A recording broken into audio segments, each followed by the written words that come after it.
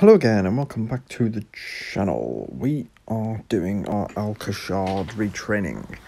Obviously it's been a short month so we do only get 8 goes of this now, plus the 4 here. So let's see what we get.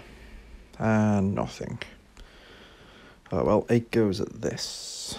Um, oh, that's tricky. Uh, I think I'm going to take Ranger.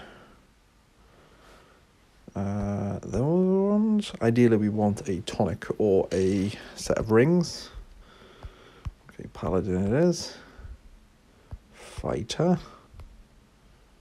Ooh, fighter again. We're not getting anything good here. Paladin. Not paladin, uh, ranger. Damn, fighter again. Oh, darts. Oh well.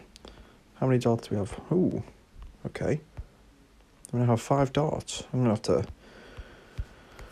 Hmm, have to rethink my leveling strategy. But Oh well. Um, as always, hope you enjoyed. Like, comment, subscribe, and I'll see you next time.